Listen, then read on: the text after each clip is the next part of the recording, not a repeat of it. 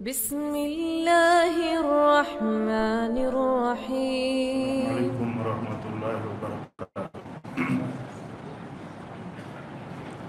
إن الحمد لله نحمده ونستعينه ونستغفره ونعوذ بالله من شرور أنفسنا ومن سيئات أعمالنا. من يهده الله فلا مضل له ومن يضلل فلا هادي له. وأشهد أن لا إله إلا الله وحده لا شريك له وأشهد أن محمدا عبده ورسوله. يا أيها الذين آمنوا اتقوا الله حق تقاته ولا تموتن إلا وأنتم مسلمون. يا أيها الناس اتقوا ربكم الذي خلقكم من نفس واحدة وخلق منها زوجها وبث منهما رجالا كثيرا ونساء. واتقوا الله الذي تساءلون به والأرحام. إن الله كان عليكم رقيبا. يا أيها الذين آمنوا اتقوا الله وقولوا قولا سديدا. يصلح لكم أعمالكم ويغفر لكم ذنوبكم. ومن يطع الله ورسوله فقد فاز فوزا عظيما. أما بعد فإن خير الحديث كتاب الله. وخير الهدي هدي محمد صلى الله عليه وسلم وشر الأمور محدثاتها وكل محدثة بدعة وكل بدعة ضلالة وكل ضلالة في النار. أعوذ بالله من الشيطان الرجيم. لقد كان لكم في رسول الله أسوة حسنة. مرکز امام بخاری کہ آج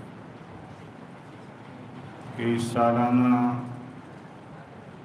اجلاس عام اور تعلیمی مظاہرہ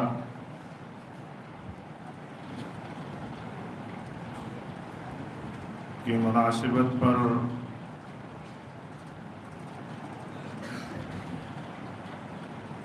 جو شرکت کی سعادت حاصل ہوئی ہے، اس پر ہم اللہ کے اس فضل پر اس کے بے پایاں شکر گزار اور احسان مند ہیں۔ اور اس کے بعد اس مرکز کے صدر محترم جماعت کی معتبر و مشہور علمی شخصیت ڈاکٹر عبید الرحمن مدنی حفظ اللہ اور ان کی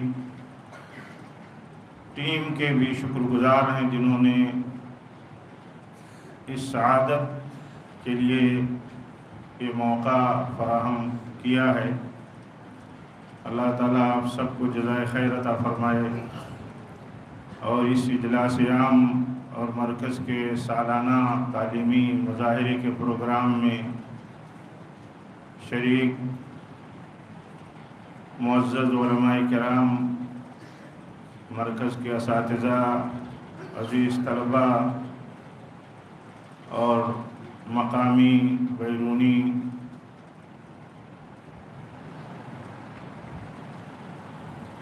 وہ احباب جو یہاں تشریف لائے ہیں، آپ سب کے بیچ میں مجھے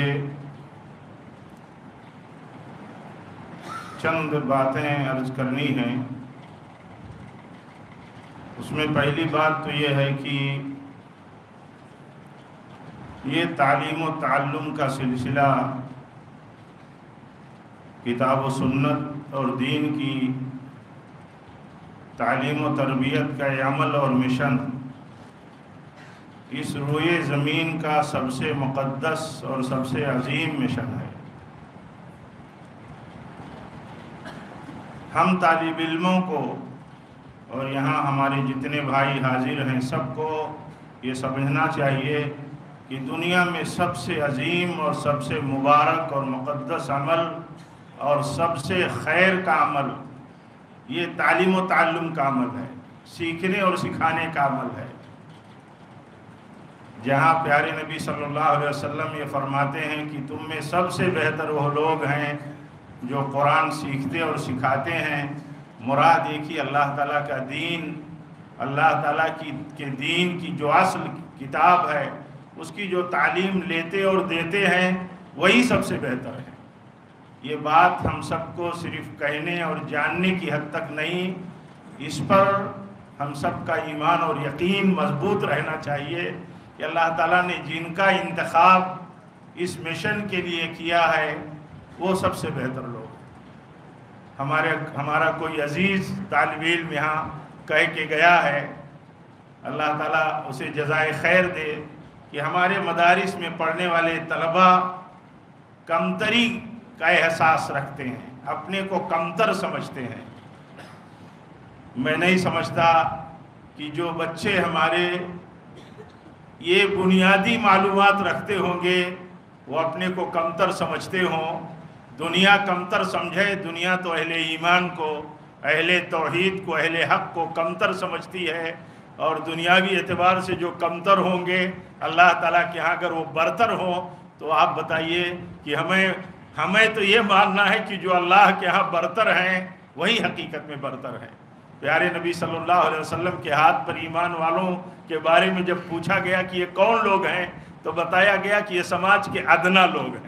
یعنی کمتر لوگ ہیں۔ لیکن وہی لوگ سب سے برتر تھے اللہ تعالیٰ کے ہاں جنہیں اللہ تعالیٰ نے توفیق دی تھی پیارے نبی صلی اللہ علیہ وسلم پر سبقت کے ساتھ ایمان لانے کی۔ تو وہ برتر لوگ ہیں۔ آپ بتاؤ عزیزو، ہم میں ہم میں وہ لوگ کتنے سعادت مند اور شرف والے ہیں جن کو پیارے نبی صلی اللہ علیہ وسلم کی زبان مبارک سے مبارکبادی دی جاتی۔ پیارے نبی مبارکباد دیتے ہیں ان ان طلباء کو جو کتاب و سنت کا علم حاصل کرتے ہیں۔ تو اس سے بڑی سعادت کی کوئی بات نہیں ہے۔ اس سعادت کو پانے پر شکر گزار ہونا چاہیے اور سعادت مندی لگی رہے، جاری رہے ہماری زندگی پر۔ اس کے لیے استقامت کی بھی دعا کرنا چاہیے۔ اللہ تعالیٰ سے دعا کرنی چاہیے کہ اللہ تعالیٰ ہمیں استقامت دے یعنی فکری استقامت، عملی استقامت۔ یہ فکری استقامت ہے کہ اللہ تعالیٰ نے ہمارا انتخاب فرمایا تو ہم پر فضل فرمایا، ہمیں مشرف فرمایا۔ یہ مشرف فرمانا ہے اللہ تعالیٰ کا۔ دنیا کیا کہتی ہے؟ ہم اپنے طور پر کیا سمجھتے ہیں؟ اگر ہم کہیں ایسا سمجھتے ہیں تو ہمیں اپنی سمجھ درست کرنی چاہیے۔ اللہ تعالیٰ کے نزدیک جو لوگ دین سے دور ہیں علم دین سے دور ہیں، اس مشن سے دور ہیں، اس مشن کا ساتھی بھی نہیں ہیں، تو حقیقت میں وہ لوگ اس روئے زمین پر ملعون ہیں۔ اللہ تعالیٰ رحم فرمائے۔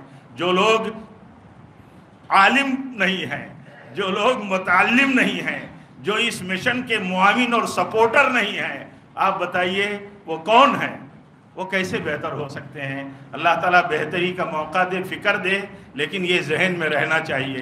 ہم سب کے لیے یہ بڑی بڑی یہ بڑی مبارکبادی کی بات ہے جو اللہ کی طرف سے اور پیارے نبی صلی اللہ علیہ وسلم کی زبان سے حاصل ہے۔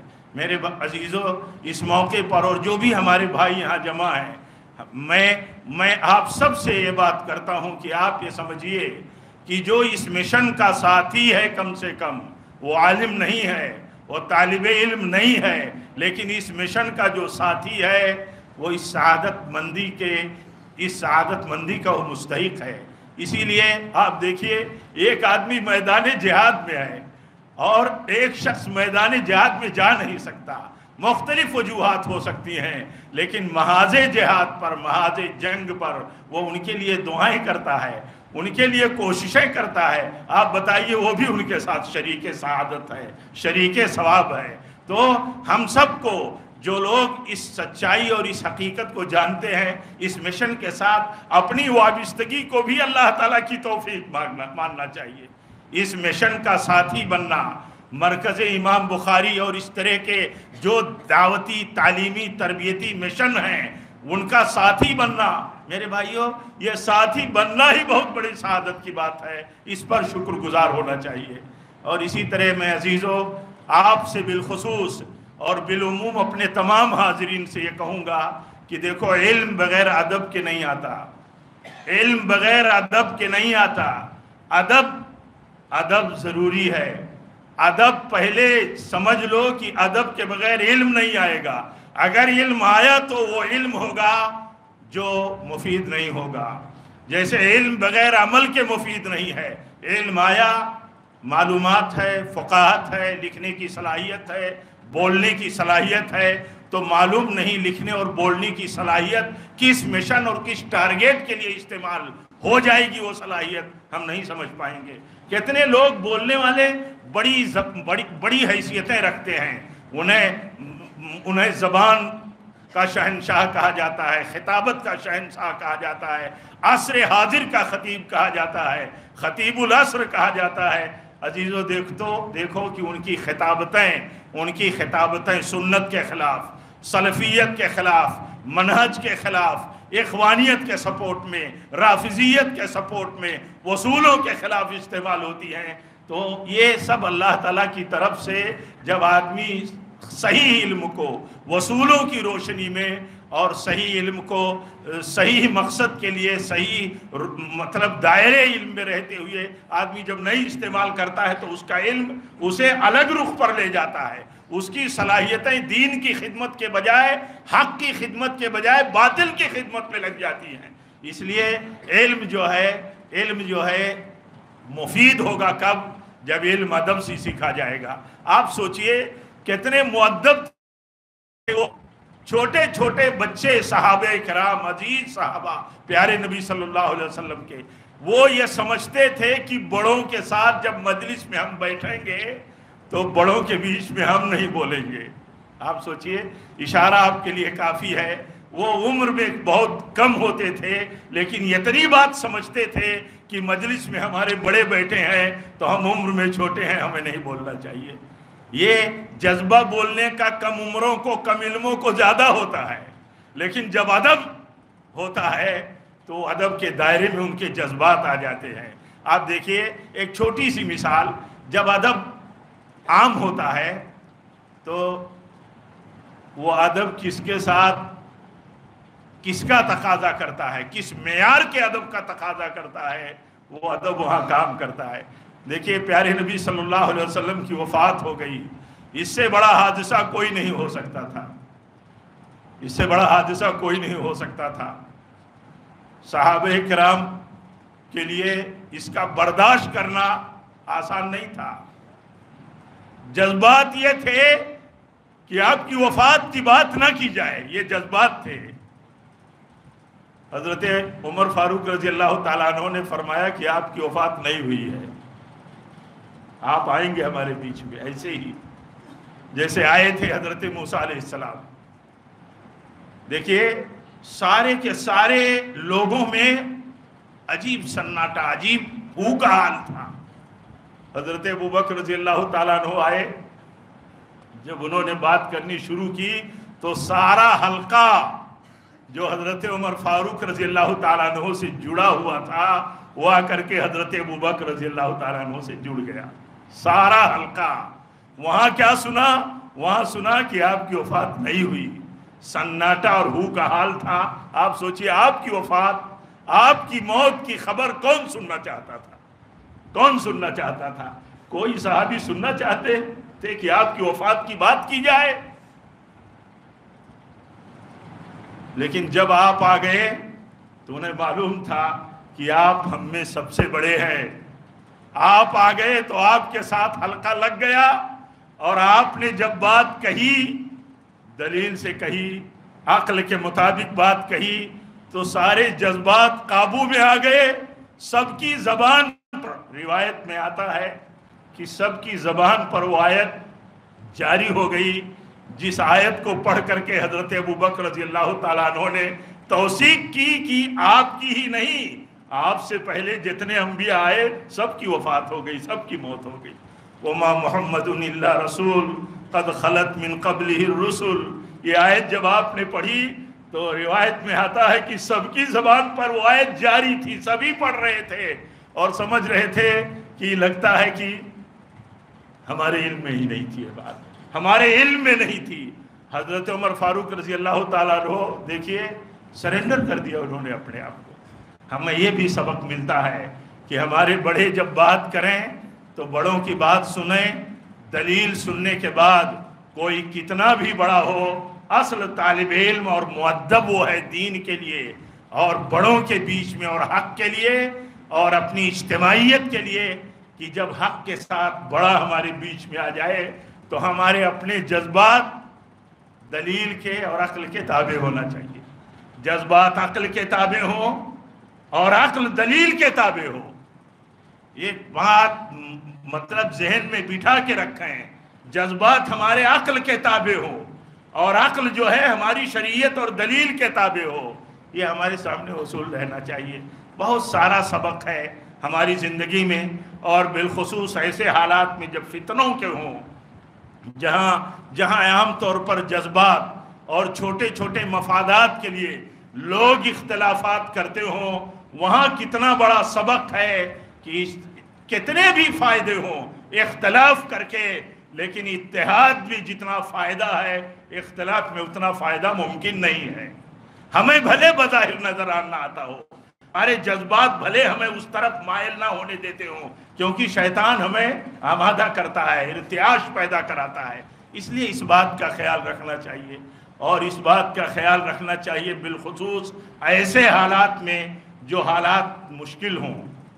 مشکل حالات میں جن حالات کے تعلق سے پیشین گوئی ہے پیارے نبی صلی اللہ علیہ وسلم کی، فتنے ایسے آئیں گے، عقلیں کام نہیں کریں گی۔ عقلیں، عقل نہیں کام کریں گی۔ عقل والے بھی پریشان ہوں گے کہ ان فتنوں میں ہم بات کیا کریں۔ وہاں جلد بازی نہیں کرنی چاہیے۔ جلد بازی کیا ہوتی ہے؟ ہمارے جذبات چاہتے ہیں کہ جلدی سے ہمارے لیے کوئی بات ہو جائے۔ اور جب جلدی سے کوئی بات ہو جاتی ہے تو عام طور پر جذبات کی تائید میں بات ہو جاتی ہے اور مسئلہ بگڑ جاتا ہے۔ اس لیے ہمیشہ انتظار کرنا چاہیے۔ ابھی ہم نے سنا اپنے کسی عزیز بچے سے کہ پیارے نبی صلی اللہ علیہ وسلم اس وقت تک نہیں بولتے تھے، جب تک وہی نہیں آتی تھی۔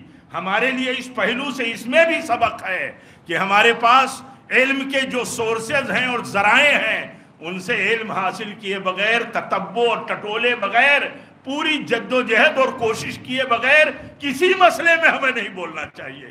وہی کا سلسلہ تو منقطع ہو گیا۔ وہی کا مسئلہ آپ کے ساتھ خاص تھا۔ آپ پر وہی کا سلسلہ ختم ہو گیا۔ لیکن علم کے حصول کا سلسلہ آج بھی جاری رہنا چاہیے۔ کوئی اپنی جگہ پر کسی مسئلے پر اس وقت تک نہ بولے جب تک کہ بڑے علماء اس مسئلے میں بول کر کے، طے کر کے ہمارے لیے رہنمائی اور گائیڈنس طے نہ کر دے۔ یہ سبق ہے۔ عزیزوں بہت ساری مشکلات ہماری زندگی میں، ہمارے مطلب حالات میں پیدا اپنے فرمایا تھا صلی اللہ علیہ وسلم کہ فتنے ایسے آئیں گے، پے در پے آئیں گے کنٹینیو آئیں گے۔ جیسے پے در پے چٹائی کی تیلیاں ہوتی چٹائی کی تیلیاں کیسے جڑی ہوتی ہیں ایک دوسرے سے؟ چٹائی بنتی ہے، بنی جاتی ہے۔ آپ فرماتے ہیں ایسے ہی پے در پے فتنے آئیں گے۔ ایک فتنہ جب تک سمجھ میں نہیں آتا کہ یہ ہے کیا، اس کا حل کیا ہے، تب تک دوسرا فتنہ آ جاتا ہے۔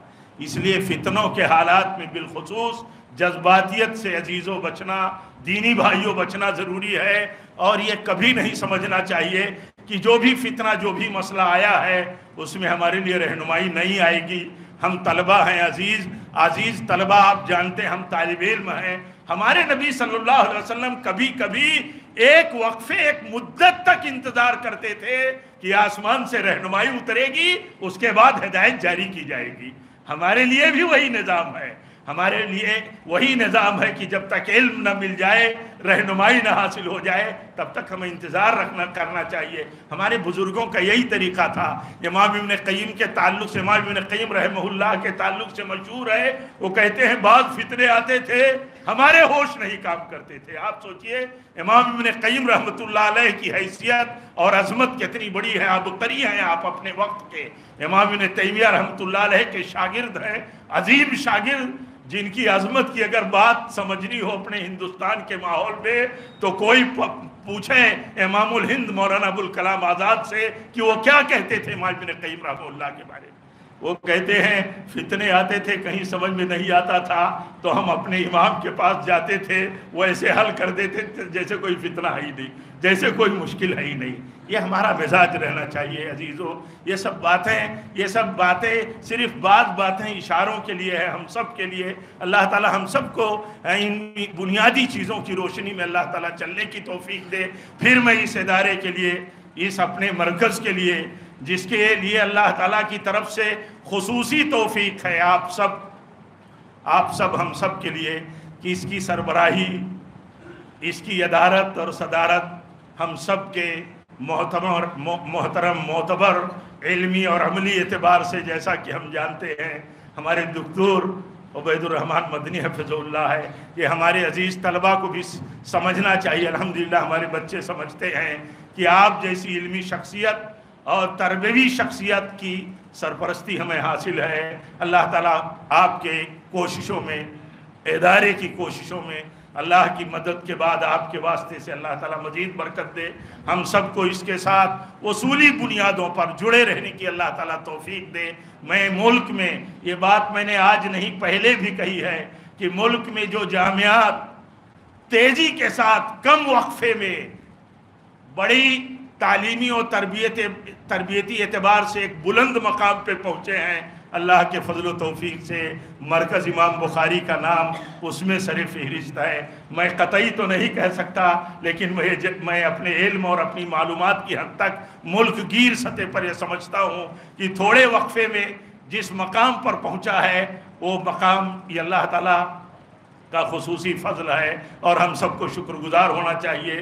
اس کے خیر اور اس کی برکت کے سلسلے میں اللہ تعالیٰ سے مزید ہم سب کو دعا کرنا چاہیے۔ ایسے ہی جہاں اس مرکز کے ذمہ دار ذمہ داران اساتذہ، آپ عزیز طلبہ کے لیے بھی میں دل کی گہرائی سے یہ دعا کرتا ہوں۔ ہم سب کو دعا کرنی چاہیے کہ اللہ تعالیٰ اس مشن کو، اس مشن سے وابستہ سارے لوگوں کی نیتوں میں اللہ اخلاص عطا فرمائے۔ اس علم کے مشن کو اپنے لیے اللہ کی طرف سے سعادت سمجھیں برکت سمجھیں یہ اللہ تعالیٰ کی توفیق خصوصی سمجھیں اور اللہ تعالیٰ اس مشن کو عام کرے، اس مشن میں اور استحکام پیدا کرے اور ہم سب کو اس سلسلے میں جو بھی ہماری ممکنہ کوششیں اور تعاون ہو سکتی ہیں۔ اللہ تعالیٰ ہم سب کو اسے دینے کی اور اس میں لگنے کی اللہ توفیق عطا فرمائے۔